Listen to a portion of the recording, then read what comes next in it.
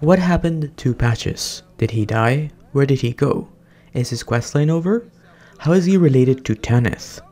Now, let me start off by saying that we don't know much about these two characters, other than they knew each other at some point, or that at least Patches remembers her from a faraway land.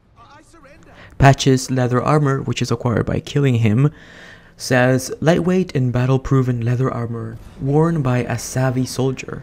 Many admire the wearer of this armor for his chivalrous and forthright spirit. That's literally all of the information we have on him. But if you proceed through his questline, you find out a little bit more about him.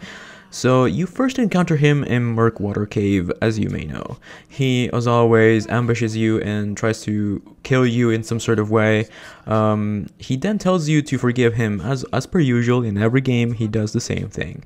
He tells you about how he wants to open up a shop, and uh, as we know, Patches always becomes a storekeeper in all of the other Souls games. He then moves to the Volcano Manor.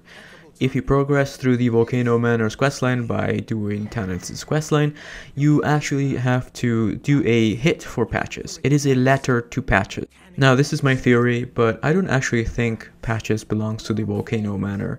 I actually think Patches moved here to get closer to Tanith or to keep an eye out on her and I do believe that he wrote the letter himself or he or they gave him this assignment and uh, he actually didn't want to go through with it because he actually does not want to be a recusant. Tanith's mask reads, Long ago when Rykard first set eyes on Tanith, she was working as a dancer in a foreign land. Soon he made her his consort. She was the only human to remain by his side when he became the Serpent of Blasphemy. In that moment, Tanith was truly charmed by him.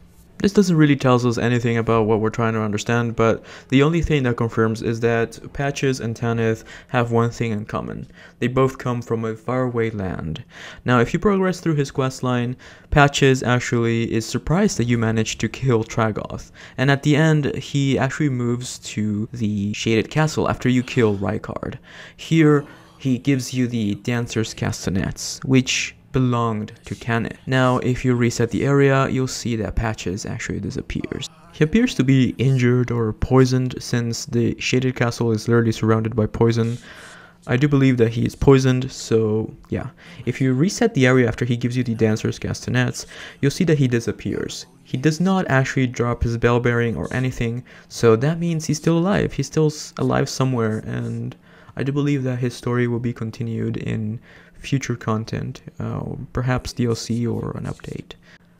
At this point, if you go back to Rykard's boss room, you'll find Tanith attempting to devour his head, and if you give her the Dancer's Castanets, she seems very confused as to why you would give her that, and she refuses them. She says that she has no time for it. Anyway, that is going to be the end of this quick video. I just wanted to let you guys know that Patches is definitely not dead. He is probably going to be in future content. Let me know what you think about this in the comments down below.